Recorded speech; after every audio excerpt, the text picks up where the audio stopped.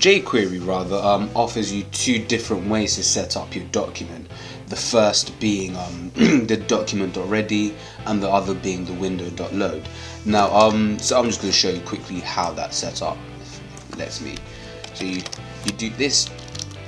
This uh, dollar sign is basically how you reference uh, jQuery um, objects. So we're going to do doc oh, and function. Sorry, before I get cast. Document dot ready. Function.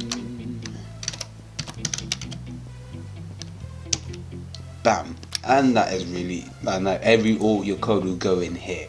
The alternative to this however is the window.load window.load function done. And um yeah so that's basically doing you save it. Now there's a very well not a slight difference is there's a quite a big difference in when you would use either of them. If you use um if you want the the elements your function to run on certain elements whilst the page is still loading then you use the um, document.ready function and put your code all in there for when you for what you want executed at that time. However you may notice when you become a proper program no, not a proper program not to take the mickey but when you get more in depth into programming that certain things certain functions won't work unless they're called after they're loaded.